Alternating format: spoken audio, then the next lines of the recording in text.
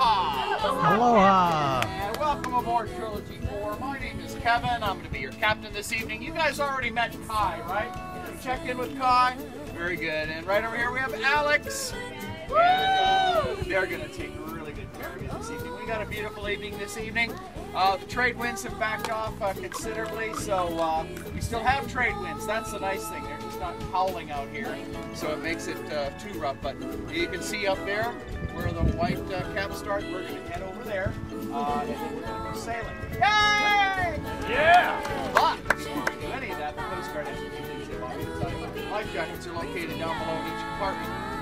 At the back of the boat, we have two floataway life rafts. We also have a small life ring to toss off to you in case you decide to go for a swim this evening. And we have a first aid kit, oxygen kit, beeper kit, and fire extinguishers on board. We don't plan to use any of that stuff tonight. I'm just required to let you know. We have it on board. Everything's in order. Now about the boat, you're welcome to move about the boat anywhere you like except the cabin top. We can have four people out on the net at any one time.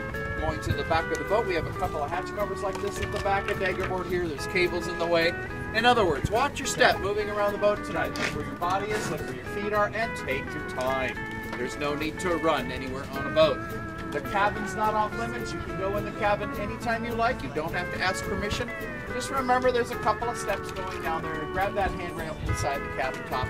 That corner of the cabin top too is a great place to stand and hang out. People love to stand there and lean up against the cabin top. However, when you're doing that, you're blocking the handrail and the steps. People have to go around you, and then that's when people fall. So keep that area at the top of the steps open so people can come and go safely. Uh, we have pineapple juice for you. We also have Coke, Diet Coke, ginger ale, ice water. You can have as much of that all evening as you like. For the adults, your ticket buys you three adult beverages. We have Bikini Blonde, Bud Light, white wine, champagne, margaritas, and Mai Tais. Okay?